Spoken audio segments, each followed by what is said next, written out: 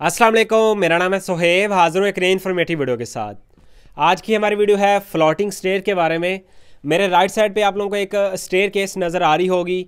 ये कैसे बनाई जाती है? इसके अलावा कंक्रीट की जो हम स्टेयर चढ़ाते हैं आ, उस स्टेयर में और इस सीढ़ी में जो कॉस्ट डिफरेंस है वो कितना है? इसके अलावा ये सीढ़ी कैसे बनाई जाती है और दूसरा कॉस्ट डिफरेंस क्या है? आज की वीडियो में हम देखेंगे। वीडियो मुकम्मल देखिएगा ताकि आप लोगों को मुकम्मल इन्फॉर्मेशन मिल सके।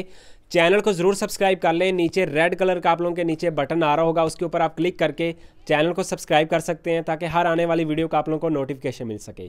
तो चलें स्टार्ट करते हैं। सबसे पहले मैं आप लोगों को बता दूँ, ये सारी जो स्टेयर है, ये लोहे की तैयार की जाती है। लोहार इधर आके मौके पे इसको तैयार करता है। इसके अलावा इधर आप लोगों को पीछे से दिखाते हैं ये कैसे स्टेप बनाए गए हैं।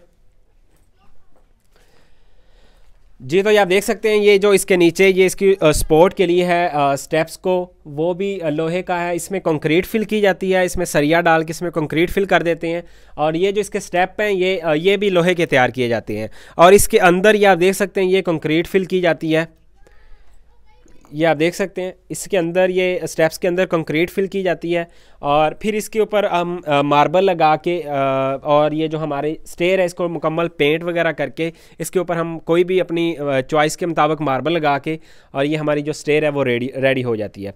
इस स्टेयर में आप लोगों का जो ट्रेड है वो मौजूद होता है राइज़र आप लोगों का ये देख सकते हैं राइज़र नहीं होता और सिर्फ़ ट्रेड आप लोगों का स्टेयर में होता है स्टेप और ये आप देख सकते हैं, इसी तरह वो सामने आप लोगों की लैंडिंग का एरिया है। लैंडिंग से आप लोग फिर ऐसे ऊपर स्टेयर केस चली जाती है। और इस स्टेयर में और जो हम कंक्रीट की स्टेयर चढ़ाते हैं, उसमें जो कॉस्ट डिफरेंस है, वो तकरीबन ट्वेंटी से थर्टी परसेंट ये हमें ज़्यादा कॉस्टली पड़ती है। जबकि वो उसमें भी हम टोटल कंक्रीट का वर्क करते हैं, सरिये का काम होता है। इसमें सिर्फ़ हम ये लोहे की तैयार करवाते हैं, इसके अंदर जो रॉड है, नीचे बड़ा, उसमें हम कंक्रीट फिल कर देते हैं और ये स्टेप्स के अंदर थोड़ी थोड़ी कंक्रीट फिल करके इसके ऊपर हम मार्बल लगा के अपनी जो सीढ़ी है उसको रेडी कर लेते हैं। इसके अलावा मैं आप लोगों को बता दूँ इसका जो आ, ये है ट्रेड ये इसकी जो चौड़ाई है वो 10 इंच है। जब इसके ऊपर मार्बल लगेगा तो ये तकरीबन एक फ़ीट हो जाएगी ठीक है? और ये जो हाइट है ये 6 इंच हमने रखी हुई है इसकी। हाइट है जो 6 इंच है इसका राइज़र है।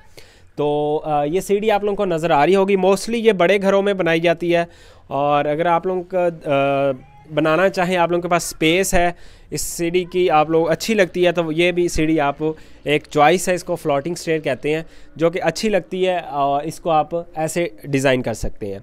तो ये थी हमारी आज की वीडियो इसके अलावा इस सीढ़ी के बारे में अगर आप लोगों का कोई क्वेश्चन हो तो वो भी आप कमेंट बॉक्स में पूछ सकते हैं। किसी भी लोहार जो स्टेयर्स का काम करते हैं स्पायरल स्टेयर जो हम चढ़ाते हैं, पीछे से जो छत पे जाती हैं, कोई भी स्टेयर कहीं से भी आप इसको रेडी करवा सकते हैं और जो इसको, जो मिस्त्री है, ठेकेदार है, वो इसको यहाँ पे एडजस्ट करेगा। इसकी वो बताएगा कि ये कैसे इसको एडजस्ट करना है और लोहार है जो इसके मुताबिक वो बना के आप लोगों को रेडी कर देगा। तो इसमें आप कंक्रीट फिल करके फर्दर जो इसका वर्किंग है मार्बल वगैरह लगा के इसको आप रेडी कर सकते हैं। तो ये थी हमारी आज की वीडियो इंशाल्लाह मिलते हैं नेक्स्ट वीडियो के साथ। अपना बहुत सारा ख्याल रखिएगा। चैनल को ज़रूर सब्सक्राइब कर लें ताकि इस तरह की डिफरेंट जो वीडियोज़ हैं इन्फॉर्मेटिव वीडियो वो आप लोगों को तक पहुँच सके। तो इंशाल्लाह अगर, इसके अलावा अगर आप लोगों को किसी खास टॉपिक पर वीडियो चाहिए तो वो भी आप कमेंट बॉक्स में हमें ज़रूर बताइए। वीडियो को लाइक कर दें चैनल को सब्सक्राइब कर दें। अल्लाह हाफिज़।